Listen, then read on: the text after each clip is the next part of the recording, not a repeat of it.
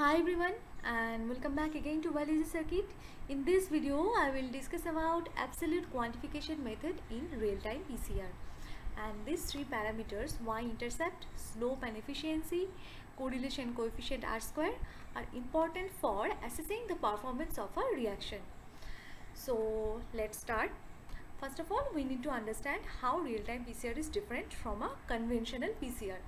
In conventional PCR what do we do? We do endpoint analysis. That means after the completion of a PCR reaction, we run the amplified product in agarose gel. But in real-time PCR, that amplified product can be detected and measured as the reaction progresses. That means we can detect and measure the amplified product in real time.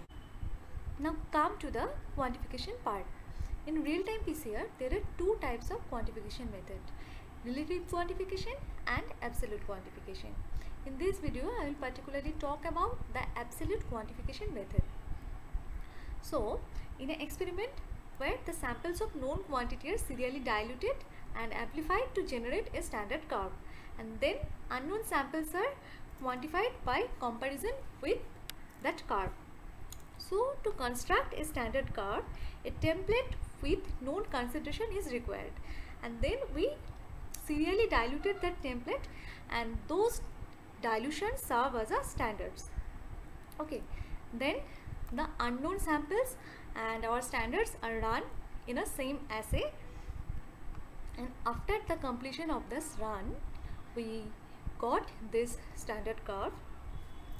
Along the x-axis logarithm of copy number of standards are plotted and their respective CT values are plotted along the y-axis.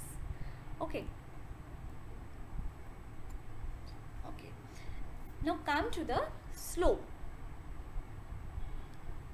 Slope is the measure of a efficiency. So from this slope we can understand how accurate the reaction performs.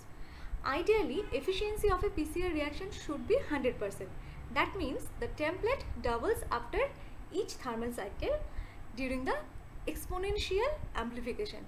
So for an ideal PCR reaction, the slope value should be minus 3.32. But there are many factors, experimental factors, uh, such as secondary structure, GC content of the amplicons, uh, which influence the reaction. And in that case, the slope might be varied between minus 3.10 to minus 5 point minus 3.58 okay so overall considering all the factors the efficiency between 90% to 110% is accepted for a real-time PCR now come to the y-intercept and r-square y-intercept is the direct measure of sensitivity of a real-time PCR y-intercept value directly corresponds to the theoretical limit of detection of a reaction.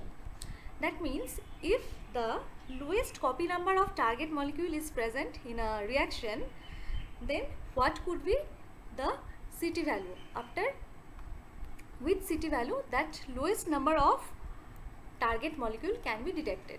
In this particular picture you can see the y-intercept value is 42.90 that means if the lowest copy number of target molecule is present after the CT value of 42.90 those molecule will be detected. Okay? And at last come to the R square. R square value reflects the linearity of a standard curve. Okay? R square basically is a measure of how well the data fit to a standard curve.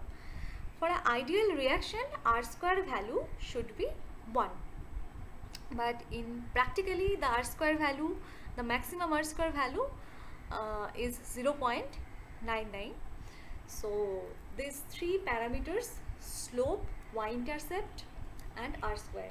These are very important for assessing a performance of a real-time PCR especially the absolute quantification method.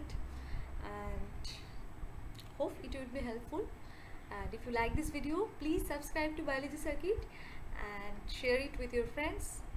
Thanks for watching